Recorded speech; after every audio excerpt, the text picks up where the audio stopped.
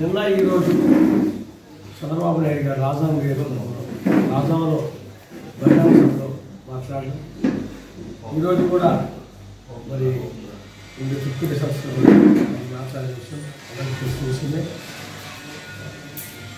నిన్న చంద్రబాబు నాయుడు రాష్ట్ర ప్రతిపక్ష నాయకుడు ఏం మాట్లాడని చూస్తే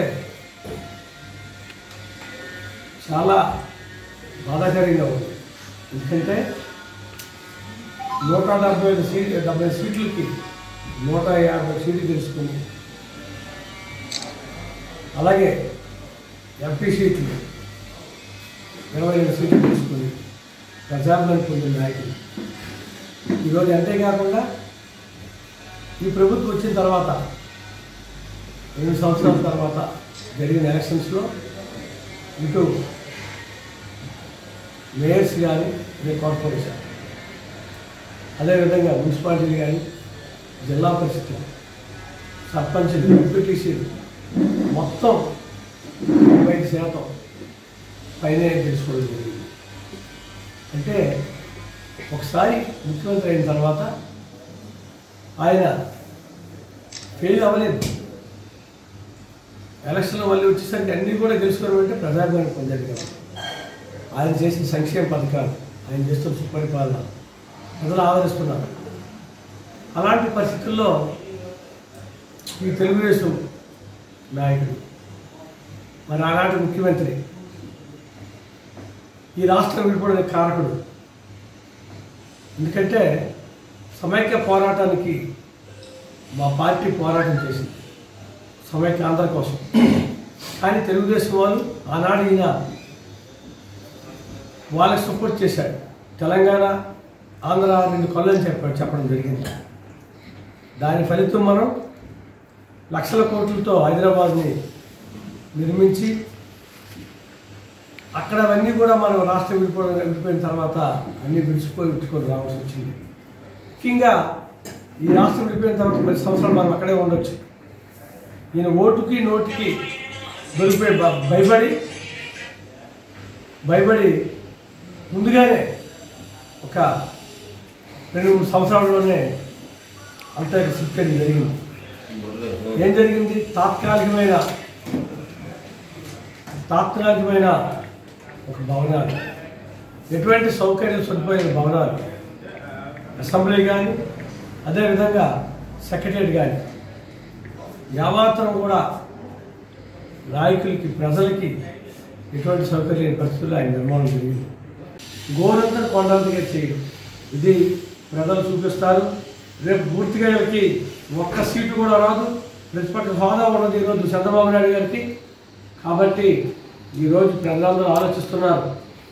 ఈరోజు మాకు మంచి పరిపాలన చేస్తున్న జగన్మోహన్ రెడ్డి గారికి కావాలి. అలాగే మహిళల కోసం దిశ చట్టం పెట్టారు.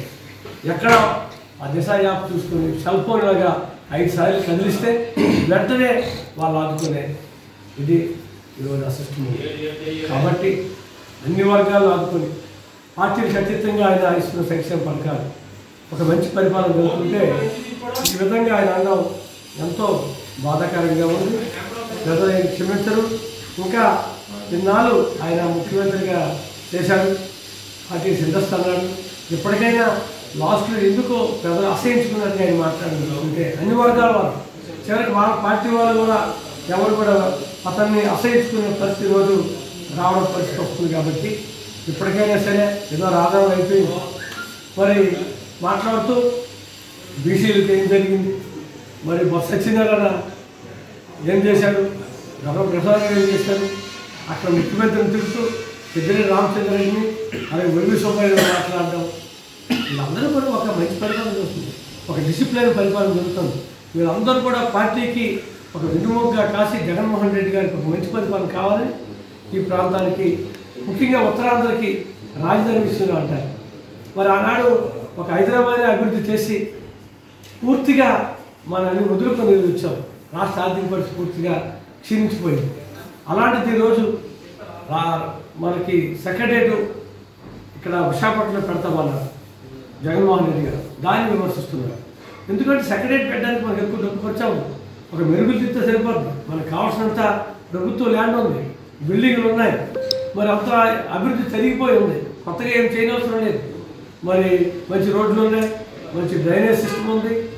మరి అన్నీ కూడా అభివృద్ధి చెందింది కాబట్టి మరి సున్నా వేసి చెప్తే ఎలా చేస్తాం ఆ విధంగా చేయడం తప్ప అతి తక్కువ ఖర్చుతో ఇక్కడ మనం ఏర్పాటు చేయొచ్చు.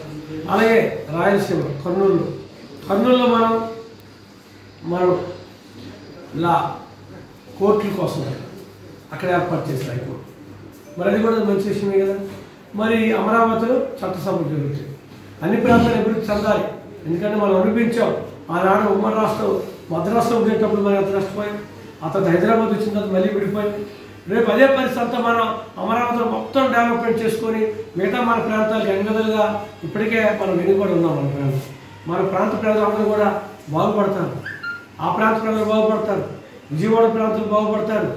అన్ని వర్గాలు బాగుపడే ఆలోచన చేస్తుంటే మరి దానికి ఏమొచ్చిన మూడు రాజధానులు ఎందుకు? ఒకే రాజధాని ఉండాలని చెప్పడం అవినీతి కోసం మీరు మాట్లాడతాడా? జగన్మోహన్ రెడ్డి గారు ఈరోజు అవినీతి లేదు కాబట్టి ఈరోజు మా ముఖ్యమంత్రి నుంచి మా మంత్రుల నుంచి మా ఎమ్మెల్యేలు కానీ ఇక్కడ నాయకులు కానీ మేమెవరూ అవినీతి చేయలేదు కాబట్టి నేరుగా ప్రజల జోబుల్లోకి ప్రజల చేతుల్లోకి ప్రజల బ్యాంకుల్లోకి డబ్బులు పడుతున్నాయి. ఈరోజు అవినీతి లేదని ఎవరైనా ఆరోపణ చేయడానికి ముందుకు ఎవరైనా రావాలంటే చెప్పండి.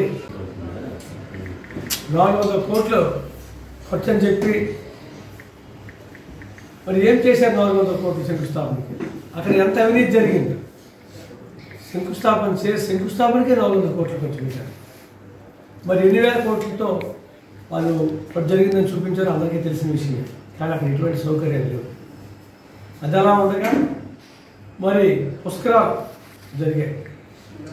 గోదావరి పుష్కరాలకి పదహారు వందల కోట్లు ఖర్చు పెట్టి సుమారు నాకు పంతొమ్మిది మంది మరణించడం జరిగింది.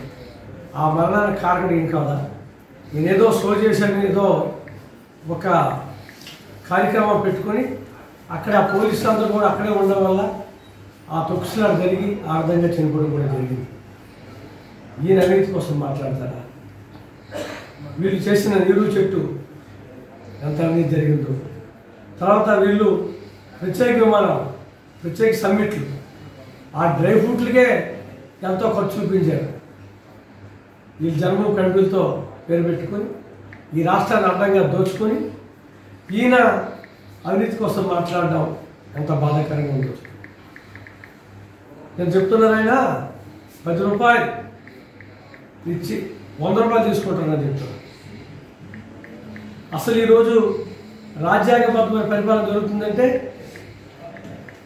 భారతదేశ చరిత్రలో జగన్మోహన్ రెడ్డి గారు ఒక్కరే ఈరోజు ఒక మంచి పరిపాలన చేయడం జరుగుతుంది.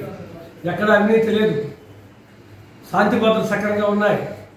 ఈరోజు ఎంతోమంది అక్కడ చనిపోయారు ఏదో జరిగింది అరెస్టులు చేశారు దుర్మార్గం చేశారని ఏదో మాటలు చెప్తున్నారు. అంటే ఇంత మంచి పరిపాలన జరుగుతుంటే జగన్మోహన్ రెడ్డి గారికి ముఖ్యమంత్రికి మంచి పేరు వస్తుందని ఈయన ఏదో వాటి చెప్పేసి ప్రజల్ని మభ్యపెట్టాలని ఆలోచనతో ఏమో ఇటువంటి కార్యక్రమాలు చేస్తే ప్రజలు నమ్మరు. ఈరోజు ముఖ్యంగా ఆయన విద్య వైద్యం వ్యవసాయం. మరి విద్య కోసం అయితే నాడు నేడు స్కూల్ పెట్టారు. ఒక విద్య గో జగనన్న గోరుముద్ద నుంచి విద్యా కానుక వసతి దీవెన విద్యా దీవెన అమ్మఒడి విదేశీ విద్యా విధానం. నిన్న ఆయన మాట్లాడారు విదేశీ విద్యా విధానం కోసం. విదేశీ విద్యా విద్యా విధానం లేదంటున్నారు. ఈరోజు రెండు వందల రాష్ట్రాల పైన ఎక్కువ మంది అన్లిమిటెడ్గా విదేశీ విద్యా విధానానికి మరి జగన్మోహన్ రెడ్డి గారు ఏర్పాటు చేయడం జరిగింది. కాబట్టి ఆయన చెప్తున్న మాటలు చూస్తే ప్రజలందరూ కూడా బాధపడుతూ ఏంటి ఏమైంది ఒక ముఖ్యమంత్రి గారు ఇంతమంది ప్రజలతో ఎన్నుకోబడిన ముఖ్యమంత్రి గారికి జగన్ రెడ్డి సైకో అంటారు అలా మాట్లాడచ్చా? పద్నాలుగు సంవత్సరాలు ఆయన ఒక ముఖ్యమంత్రిగా చేసి ఫార్టీ ఇయర్స్ ఇండస్ట్రీ అంటాడు. మరి ఒక కొడుకు లాంటి జగన్మోహన్ రెడ్డి అంటారు రమేష్ ప్రకారం చూసుకుంటే మరి అలాంటి వ్యక్తి ఆ విధంగా మాట్లాడడం అతను ఏమి రాజకీయ నాయకుడు ఏమైంది ఆయనకి? మతి భ్రమించిందని అందరూ కూడా ఎక్కడ చెప్పుకుంటుంటే ఇంకా రోజు రోజు చూసాను ఏమవుతుందో అర్థం కావట్లేదు. ఈరోజు బీసీలకి ఎక్కువ మంది మంత్రి మంత్రి ఇచ్చింది జగన్మోహన్ రెడ్డి గారు. అలాగే ఎస్సీలకి ఐదు ఐదుగురు మంత్రి ఇచ్చారు. ఒక ఎస్టీలీ మంత్రిని ఇచ్చారు. ఈయనైతే ఎస్టీలీ మంత్రి పదవే ఇవ్వలేదు. ఈరోజు ఆయన డిప్యూటీ సీఎం కూడా ఇవ్వడం జరిగింది. బీసీలకు అదే విధానంగా ఎస్సీలకి ఎస్టీలకు. కాబట్టి ఏం మాట్లాడుతున్నాడు? ఏం పరిపాలన జరుగుతుంది? ఈరోజు ఈరోజు గ్రామాలు చూస్తుంటే గ్రామాల స్వరూపమే మారిపోయాయి. సచివాలయాలు కానీ ఆర్బీఐలు కానీ హెల్త్ సెంటర్ ఈరోజు అన్నీ కూడా నిర్మాణం అయిపోయి ఎన్నో మేము ఈరోజు ఓపెన్ చేసాం ఒక డాక్టర్ కానీ ఒక నర్స్ కానీ ఉండే అవకాశాలు సౌకర్యాలు కలిగింది మన సచివాలయ బిల్డింగ్లో ఇంతవరకు చూస్తుంటే ఎక్కడ చూసినా సరే మండలాల్లో పూర్వం కట్టిన బిల్డింగ్లు అయితే మండల స్థాయిలో ఒక ఫస్ట్ ఫ్లోర్ బిల్డింగ్ లేదు. ఈరోజు గ్రామాల్లో చూస్తుంటే ఒక ఫస్ట్ బిల్డింగ్ సకల సౌకర్య సౌకర్యాలు మరి అన్ని టైల్స్ వేసి సక్రమైన అందంగా తయారు చేయాలి గాంధీజీ కళ్ళగన్న స్వరాజ్యాన్ని ఈరోజు మరి గౌరవ ముఖ్యమంత్రి గారు గ్రామాల్లో ఏర్పాటు చేశారు. మరి అదేవిధంగా వాలంటీర్ ఉద్యోగ వ్యవస్థ. మరి సచివాలయ ఉద్యోగం వస్తుంది మరి గ్రామాల్లోనే అన్ని జరిగేటట్టుగా ఈ విధంగా విధానం చేస్తున్నారు. ముఖ్యంగా ఆరోగ్యం హెల్త్ డిపార్ట్మెంట్లో ఎన్నో వేల ఉద్యోగాలు తీయడం జరిగింది. టోటల్గా చూస్తుంటే ఐదు లక్షల పైగా ఈరోజు ఈయన వచ్చిన ఉద్యోగం చేసిన గౌరవ ముఖ్యమంత్రి గారు. అంతేకాకుండా కోవిడ్ వచ్చింది. కోవిడ్లో భారతదేశ చరిత్రలో ఎవరు చేయనంత విధంగా మరి వ్యాక్సిన్లు కానీ మరి అలాగే వాళ్ళకి ఆదుకోవడానికి మంచి భోజనాలు హాస్పిటల్ ఎంతో డబ్బు ఖర్చు పెట్టి ఈరోజు అందరినీ ఆదుకోవడం ఆంధ్రప్రదేశ్లో ఎక్కువ నష్టం జరగకుండా కాపాడిన వ్యక్తి గౌరవ ముఖ్యమంత్రి జగన్మోహన్ రెడ్డి గారు. మరి హాస్పిటల్ కూడా నాడు స్కూల్తో బాగు చేశారు. అదేవిధంగా ఈరోజు వ్యవసాయ రంగం కానీ విద్య కానీ వైద్యం కానీ అలాగే పేద బడుగు బలహీన వర్గాలకి సంక్షేమ పథకాలు. ఆకలితో ఈరోజు ఎంతోమంది ఉంటారు కాబట్టి ఆకలితో నా ప్రజలు ఉండకూడదు. కాబట్టి అందరికీ ప్రతి ఇంటికి చూసినా సరే ఐదు లక్షలు ఆరు లక్షలు ఈరోజు మేము గడపడానికి మన ప్రభుత్వ కార్యక్రమం చేస్తే కనీసం యాభై వేలు అరవై వేల నుంచి ఆరు ఏడు లక్షలు కూడా ఉన్నాం. మేము- మేము చూస్తున్నాం. ఈరోజు మేము గడప గడప వయసు గడప మన ప్రభుత్వం కార్యక్రమం చేస్తే ప్రజలు ఎంతో సంతోషంగా మమ్మల్ని ఆదరిస్తూ గౌరవిస్తూ ఎంతో ఘనంగా వారి ప్రతి వచ్చి ఆదరణ పడుతున్నారంటే మరి కాదా? వేగం రెడ్డి మంచి పశుపరిపాలన కూడా మీకు తెలియజేస్తున్నాను. కాబట్టి ఇటువంటి ప్రతిపక్ష నాయకులు ఈ రాష్ట్రానికి ఇంకా బాధాకరం. ఒక మంచి పరిపాలన చేస్తున్నప్పుడు సపోర్ట్ చేయాలి తప్ప మాకు ఏమీ దొరకట్లేదు. ఏం చేయాలో దొరకట్లేదు. ఎందుకంటే ఆయన రెండు వేల నాలుగు గవర్నమెంట్ లేదు. రెండు వేల తొమ్మిదిలో గవర్నమెంట్ లేదు. మరి రెండు వేల పద్నాలుగులో రాష్ట్రం విడిపోయేసరికి నన్ను ఒకసారి నమ్మండి అన్నాడు. అంటే ఆ రెండుసార్లు కూడా ప్రజలు అతను నమ్మలేదు. నమ్మండి అని చెప్తే అప్రాస్తం వచ్చింది. కాబట్టి ఇతను ఏదో మేధావర్గం అనుకొని ఎవరేదో అతను పెద్దవాడు వయసు ఉంది కాబట్టి ఆ అనుభవం ఉంది కాబట్టి ఇతని రాష్ట్రానికి ఏదో చేస్తాడని మరి మేధావర్గం విద్యార్థులు కొంతమంది ప్రజలు అతను నమ్మి ముఖ్యమంత్రి చేస్తే నెట్టేట ఉంచాడు. లాస్ట్లో పసుపు కుంకాలు అంటున్నారు. ప్రజలు నమ్మలేదు. మరి ఎలక్షన్ ముందు పసుపు కుంకాలు అని చెప్పేసి ఈయన ఇస్తామని ప్రజలు నమ్మలేదు. ఈ రాష్ట్రానికి నీకు ఒక అవకాశం ఇచ్చావు నువ్వేమీ చేయలేదు. కాబట్టి నిన్ను మేము నమ్మమని చెప్పేసి జగన్మోహన్ రెడ్డి గారికి మరి నూట డెబ్బై ఐదు, నూట యాభై సీట్లు ఇస్తే ఈరోజు ఇక్కడ ఏం చేయాలా ఎలా చేయాలని ఇతను ఇష్టం వచ్చినట్టు మాట్లాడి ఇష్టం వచ్చినట్టుగా చేయడం చాలా బాధాకరం. మరి శాంతి భద్రత కోసం చెప్తే చాలా బాధాకరం ఉంది. ఈరోజు పార్టీలకు అతీతంగా ఇస్తున్న ఇచ్చిన పథకాలు కానీ అంతేకాకుండా ఎవరైనా తప్పు చేస్తే మరి వైఎస్ఆర్ పార్టీ అయినా సరే అతన్ని కేసు పెట్టడం కూడా జరుగుతుంది. పలాసలో ఒక ఎస్ఐ తప్పు చేస్తే ఆయన మీద కేసు కూడా పెట్టారు సస్పెండ్ చేస్తుంది మరి అలాంటి పరిస్థితుల్లో శాంతి భద్రతకు స్త్రీలు మాట్లాడమా ఈరోజు ప్రశాంతంగా ఉంది. ఎక్కడ చూసినా తగువులు లేవు గొడవలు లేవు ఆకలి చావులు లేవు ఈరోజు ఆత్మహత్యలు లేవు. అంటే ప్రజలు ఇవి నేతలను చాలామంది చంపేవారు. నేతలకు కూడా నేతలను నేస్తం మరి రైతులు ఆదుకుంటున్నారు. ప్రజలు సక్రంగా సక్రమంగా ఈ పంట ఈ పరిపాలనలో వర్షాలు బాగా పడ్డాయి. ఈరోజు మంచి పంటలు పండాయి. విత్తనాలు కూడా సక్రమంగా ఆనాడు ఆయన ప్రభుత్వం అయితే విత్తనాల కోసం కొట్టుకొని ఎంతమంది చచ్చిపోయేవారు రికమెండేషన్ వచ్చే నాయకుల దగ్గర ఈరోజు విత్తనాల పంపిణీ ఎటువంటి మరి ఇబ్బంది లేకుండా అందరికీ విత్తనాలు అందడం కానీ అలాగే ఎరువులు అందడం కానీ అదేవిధంగా ఈరోజు చక్కగా పంటలు పండాయి. ధాన్యం కొనుగోలు చక్కగా జరుగుతున్నాయి. ఈరోజు రైతులు సంతోషంగా ఉన్నారు.